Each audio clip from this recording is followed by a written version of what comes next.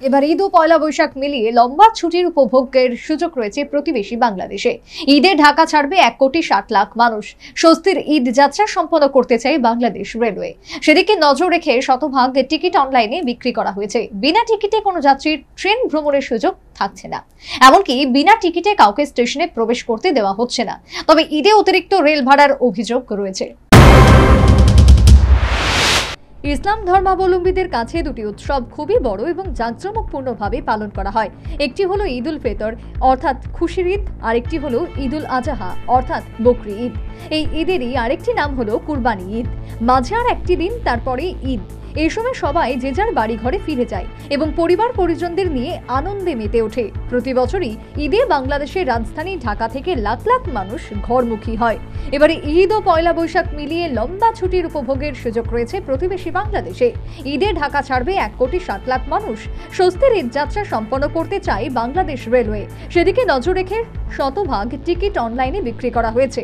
বিনা টিকিটে কোনো যাত্রীর ট্রেন ভ্রমণের সুযোগ থাকছে না। এমনকি বিনা টিকিটে কাউকে স্টেশনে প্রবেশ করতে দেওয়া হচ্ছে না। তবে ঈদে অতিরিক্ত রেল ভাড়ার অভিযোগ রয়েছে।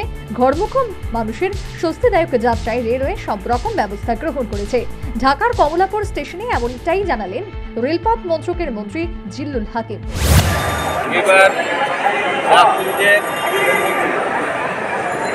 নিরাপদে বাড়িতে যে ঈদ করতে পারে। ব্যাপারে আমাদের রেল কর্তৃপক্ষ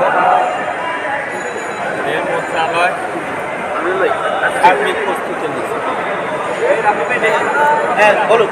এখানে আমরা ট্রেন বাড়ানোর ব্যবস্থা করছি। বিশেষ ট্রেনের ব্যবস্থা করছি। যারা অনলাইন টিকিট পাবে না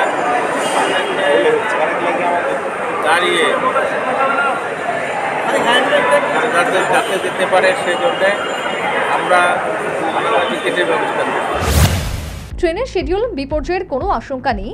সকল ট্রেন নিয়ম মাফিক ঢাকা ছেড়ে যাচ্ছে। কমলাপুরে টিকিটবিহীন কোনো যাত্রীকে প্রবেশ করতে দেওয়া হচ্ছে না। এই কারণে স্বস্তিতেই বাড়ি ফিরতে পারছেন ঘরমুখ মানুষ। তবে যাত্রীদের নিরাপত্তার কারণে কোনো কোনো স্টেশনে দু এক মিনিট বিলম্ব হচ্ছে জানালেন ঢাকার কমলাপুর রেলওয়ে স্টেশন ম্যানেজার। আমাদের ট্রেনের কোনো রকম ঘটেনি।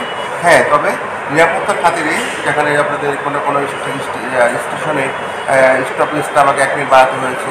আর আপনারা জানেন যে ঈদ যাত্রায় সবাই ছোটো বাচ্চা লাগেজ এবং কী বলে বয়প্রাপ্ত প্রাপ্ত লোকজন সবাই যারা আছে সবাই উঠান আমার সহযোগিতার জন্য। আপনার কোনো কোনো জায়গায় স্টপেজ এক মিনিট যাত্রা বিরতি দিতে হয়েছে বেশি দিতে হয়েছে।